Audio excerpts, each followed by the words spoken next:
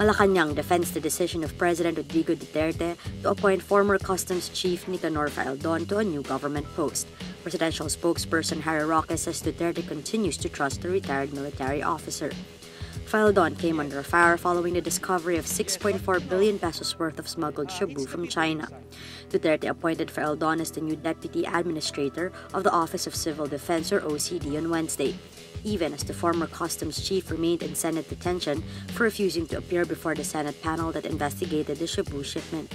Roque says Faeldon can discharge his functions even while detained at the Senate. Some senators questioned Faeldon's new appointment despite his poor performance at the Bureau of Customs.